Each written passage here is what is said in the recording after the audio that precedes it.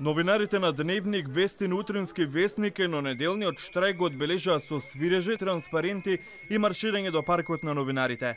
Нема плата, нема мир, каде оди МПМ, диалог, се само дел од паролите кои медиумските работници од трите вестници на Медија Принт Македонија им ги упатуваат до менеджментот.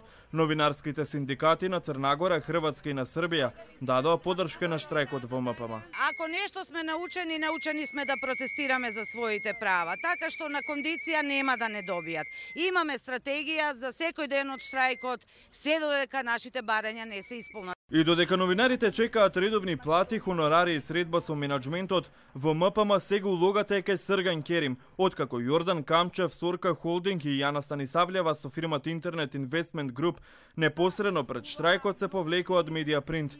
Телевизија 24 стапи во контакт со Керим.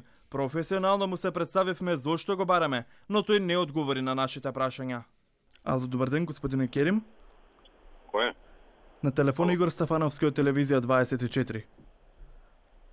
Ве барам во однос на состојбите за компанијата со во однос на штрајкот на новинарите?